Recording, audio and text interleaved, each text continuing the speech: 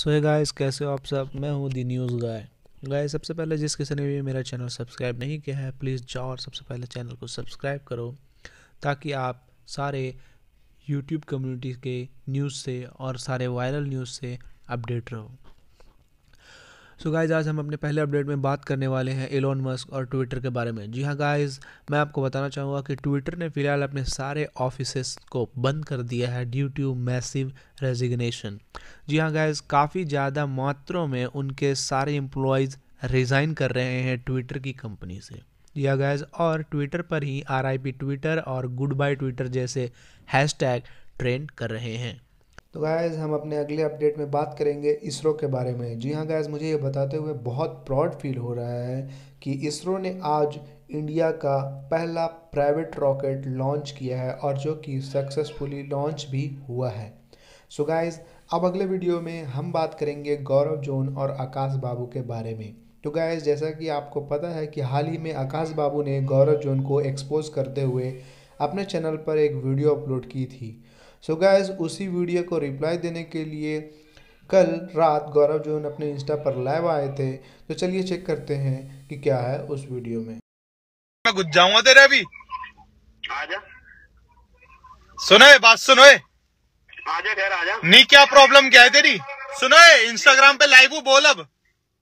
Fortuner में बैठ के कर रहा है क्या? तेरे घर नहीं आया था मैं तेरे को समझाने? बोला था किसी ने आजा। भाई मेरा फ़र्ज़ है समझाने का। मेरे को ना चाहिए व्यूज़ तेरे नाम पे। फिर भी तूने हगा यूट्यूब पे हगा। आत्मा को पड़ेगी तेरी ठंड। नहीं अभी पड़ेगी। अब क्या बना रहे कितने पार्ट सीरीज़ वेब सीरीज़ बना रहे क्या?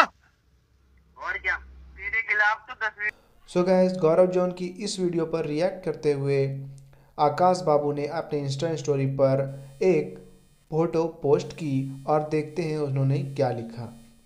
तो पहले फ़ोटो में उन्होंने एक सांप का स्टोरी लगाया हुआ था और जिसके नीचे लिखा हुआ था, क्या हुआ? फटी क्या? और दूसरी स्टोरी में उन्होंने लगाया था, इतना डर लग रहा है बता नहीं सकता। और एक टट्टी की इमोजी बनी हुई थी और उस पर जोन लिखा हुआ था और नीचे लिखा हुआ था, क्या चेपू है? सफ़ाई दे रहा है बिना मतलब की फटी साफ़ बोल। बेटा, गलत हत्या चढ़ गया तू। अब हम अपने अगले अपडेट में बात करेंगे श्रीमान लेजेंड के बारे में। जी हाँ दोस्तों तो उन्होंने अपनी किसी फेक अकाउंट का स्क्रीनशॉट अपने स्टोरी पर पोस्ट किया और कुछ लिखा था। तो आइए चेक करते हैं उन्होंने क्या लिखा था।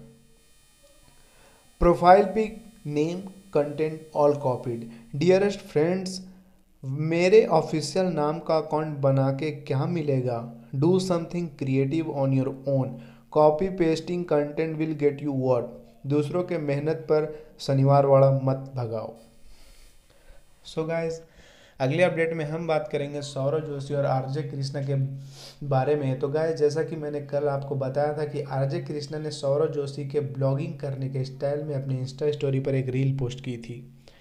तो इस रील पर गेम फ्लीट रिएक्ट करते हुए इसे अपने इंस्टा के स्टोरी पर पोस्ट करते हैं और नीचे सौरव जोशी को टैग करते हुए लिखते हैं, हा हा हा, भाई, ऐसे बाल कर लो प्लीज़ और इसी सेम स्टोरी को सौरव जोशी भी अपने इंस्टा के स्टोरी पर पोस्ट करते हैं।